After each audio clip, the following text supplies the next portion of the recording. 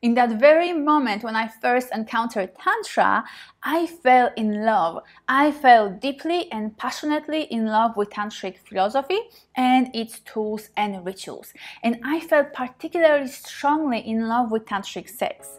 So, if you're curious about Tantra and if you would like to learn how to start having Tantric sex for yourself, keep watching.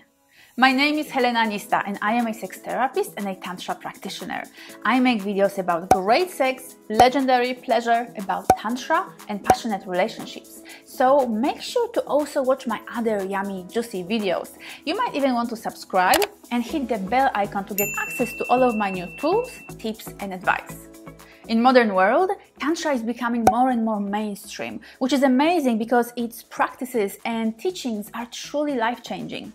And I've definitely experienced firsthand the amazing magic and power of a tantric connection in the bedroom. Let me tell you a little more about that. Before studying Tantra, I had a very mediocre sex life. I struggled to get aroused or to orgasm. I felt very disconnected from my lover, and sex itself felt mostly uncomfortable or even painful. And I really wanted to change things. I really desired a passionate, hot, sexy, intimate connection with my lover.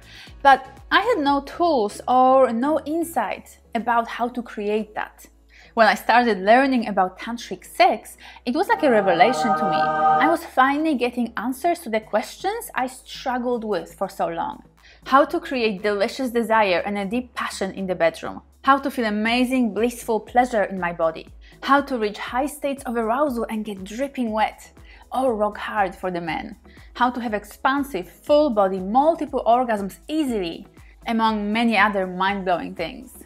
So first of all, what is Tantra? Tantra is an ancient philosophy that comes from India and we nowadays mostly associate it with sex, but that's not really correct. Tantra embraces every single aspect of life and teaches us about the values of mindfulness, sacredness, and specialness. When we do things tantrically, we bring our full presence and awareness. We're fully in the here and now. Not distracted, absent minded, or trying to multitask, but fully in the moment. Whether we're eating, working, having a conversation, drinking a cup of coffee, or having sex. Because when you bring such intense presence to any activity, it allows you to experience everything as much more amazing, special, and meaningful. There's also a deep emphasis on sacredness.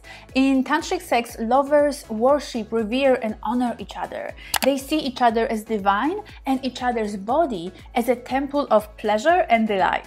So in Tantra, a lot is not about particular things that you do, but about how you do them. To live tantrically, or to make love tantrically means at its essence to be mindful, to recognize the power of being in the moment, to see and experience the specialness of each moment, and to celebrate it with reverence. And in order to help you experience that for yourself, I'm going to give you a few practical pointers here. But before I do that, please make sure to give this video a like because let's be honest, tantric sex is just epic. And here are my tips. Turn your lovemaking into a ritual which starts with a sacred space. Tidy up your bedroom, decorate it with some beautiful items, even a few extra comfy cushions or blankets will do. But you can go a little further and light some candles, put on some sensual music, uh, bring some incense sticks or diffuse some essential oils, and bring some light snacks or drinks.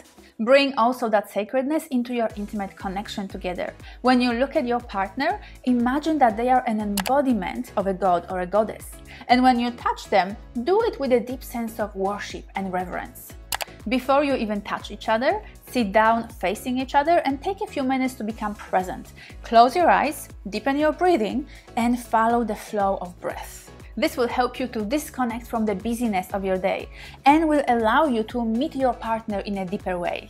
As part of being present, make sure to also remove any goals or agenda from your lovemaking. And that includes focusing on the orgasm. As soon as we focus on the orgasm, we're not present anymore, we're ahead of ourselves. Tantric lovers actually forget about orgasm. This doesn't mean that they don't orgasm, quite the opposite. They orgasm abundantly, freely, and effortlessly because instead of efforting towards that climax, they fall into expanded blissful orgasmic states. Using your breath consciously is a huge aspect of Tantra. Deep abdominal breath spreads orgasmic energy, so make sure to keep paying attention to the way you breathe. We tend to constrict or hold the breath when we're aroused, so make sure to keep your breath slow, deep, and relaxed. And finally, slow down. It's easy to lose yourself in the heat of the moment, but these rushed erotic experiences are typically more disappointing than satisfying. So train yourself to slow everything down. Extend the foreplay. Keep teasing each other. Use plenty of kissing and slow, sensual strokes. Play with pleasure. Keep arousing each other's senses. Um, keep your partner begging you for more. And once penetration starts, remember that the more time you take and the more erotic charge you build up in the process, the more mind blowing your orgasm will be. I hope that you loved this video and if you did, please give me a thumbs up. I hope that this inspires you to keep exploring Tantra further and to give Tantric sex a go. Please let me know in comments below whether you've heard of Tantra before or whether you're completely new to it. I respond personally to all of the comments and I look forward to reading yours. Thank you so much for watching this video and I look forward to seeing you in the next one.